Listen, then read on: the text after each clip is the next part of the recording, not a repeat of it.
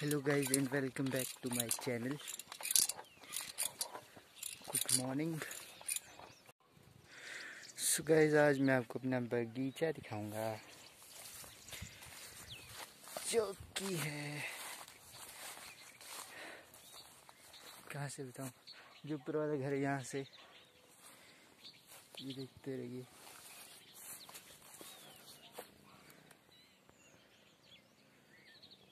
ये सारा बगीचा है।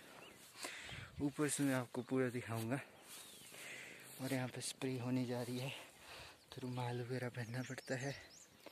और कोरोना वायरस की वजह से आप सब बोर हो रहे होंगे।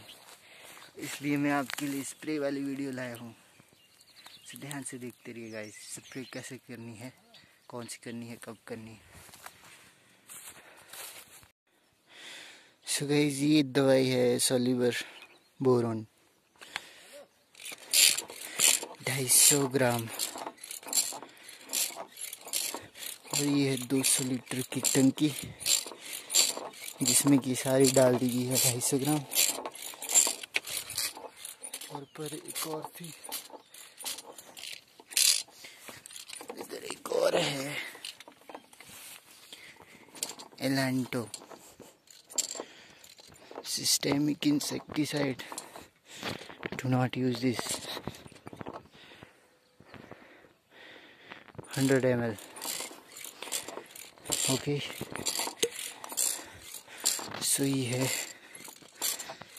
टंकी ये है दवाई ये है पंप और यहाँ से ये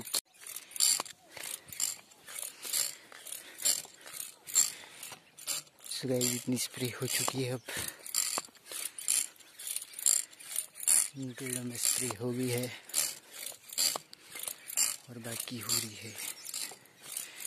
वहाँ पे स्प्रे होती हुई।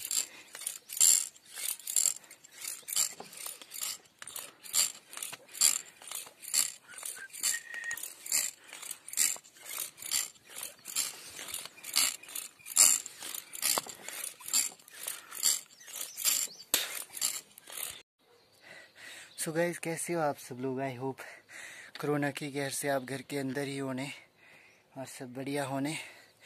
जो नहीं बढ़िया है, वो अपना चेकअप कराइए। टोल फ्री नंबर पे कॉल कीजिए, जो कोरोना के चेकअप के लिए होता है। और मैं दिखाता हूँ आपको अपने बगीचे। जहाँ वो आपको पेड़ दिख रहा है परे खुरमानी का।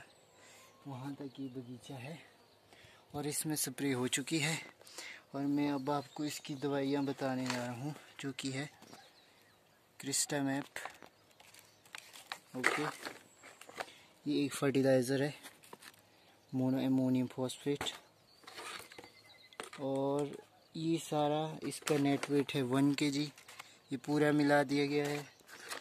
इसका है ढाई सौ gram this is boron okay और ये है चिलेटेड माइक्रोन्यूट्रिएंट जिंक ये है जिंक के लिए और ये एलांटो सिस्टेमिक इंसेक्टिसाइड वैसे इसे यूज़ नहीं करना चाहिए गाइज़ ये बहुत ही ख़तरनाक होता है सिस्टम में जाके।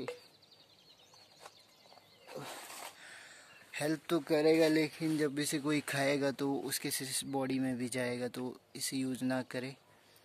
पर अब क्या बोल सकते हैं यहाँ पे? है। स्प्रे हल्की हल्की करनी है। पानी यहाँ से टपकना नहीं चाहिए, जैसे कि इसमें हो चुकी है स्प्रे। देख सकते हैं आप गाइस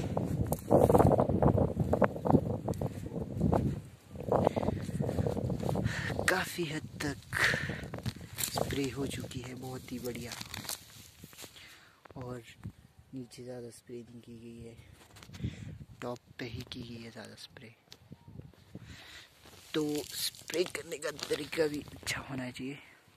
और घास को ऐसे साइड में रख दें, ताकि पौधे को न्यूट्रिशन मिल सके। सुगाई ऐसे पेड़ों में स्प्रे की जाती है। आप देख सकते हैं वहाँ पे।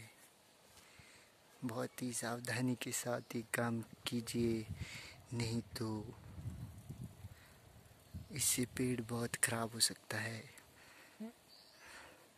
और यहाँ पे सिर्फ़ दो तीन पेड़ बचे हुए हैं। देख सकते हैं आप, इस पेड़ में स्प्रे हो चुकी है। और इट्स अ फोलियर स्प्रे। यहाँ सभी पेड़ों में स्प्रे हो चुकी है सिर्फ़ एक घंटे में। इस पंप की वजह से और इसमें दवाई लाएगी है और पंप मुझे दिख नहीं रहा है वहाँ पे। पर मैं आपको बाद में वो पंप दिखाऊँगा, जो कि चार्ज किया जाता है। और मौसम वहाँ पे ख़राब। सुबह ये थी आज की वीडियो। और पंप देख सकते हैं आप। जो कि बैटरी से चार्ज होता है।